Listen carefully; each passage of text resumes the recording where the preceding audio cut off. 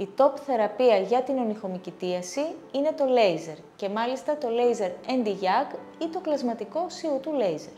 Είναι ένα λέιζερ πάρα πολύ αποτελεσματικό. Καταρχάς, αποφεύγουμε τη συστηματική χρήση φαρμάκων, καθώς μέχρι πρότινος η μόνη λύση για την ονειχομικητίαση ήταν η φαρμακευτική αγωγή, η οποία έπρεπε να είναι πολύμηνη και είχε αρκετές παρενέργειες. Το λέιζερ δρά μέσω του ειδικού μήκους κύματος που έχει, το οποίο απορροφάται από κάποια χρωμοφόρα στοιχεία του τυχώματος των μυκήτων, με αποτέλεσμα να καταστρέφονται οι μύκητες. Επίσης, το λέιζερ μπορεί να διαπεράσει την ονυχαία πλάκα και να πάει στα βαθύτερα στρώματα και κάτω από τον ήχη, φτάνοντας στη ρίζα της μόλυνσης και αντιμετωπίζοντας το μύκητα βαθιά στο σημείο που δρά.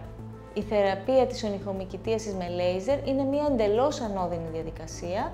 Το μόνο που αισθάνεται ο ασθενής είναι μια ήπια ζέστη και θερμότητα στο περιονύχιο, στο δέρμα του δηλαδή γύρω από τον ήχη.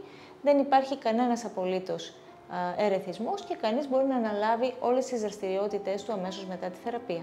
Χρειάζονται αρκετές συνεδρίες λέιζερ για την ονειχομικητίαση, για την ακρίβεια 5 με 7 συνεδρίες, μία φορά το μήνα και πρόκειται ουσιαστικά για το εξάμηνο, εφτάμηνο που χρειάζεται για να ανανεωθεί πλήρως ένα νύχι.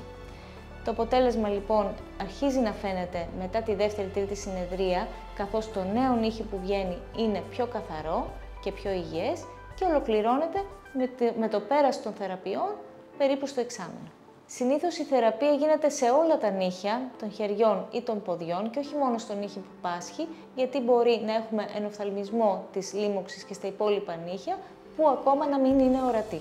Η θεραπεία με λέιζερ οδηγεί σε μόνιμη λύση του προβλήματος, ουσιαστικά του προβλήματος που υπάρχει τη δεδομένη χρονική στιγμή και φυσικά θα χρειαστεί μια συντήρηση από τον ασθενή με κατάλληλα προϊόντα, κατάλληλες πούδρες, αποφυγή της εφίδρωσης, έτσι ώστε να μην έχουμε επαναμόλυνση.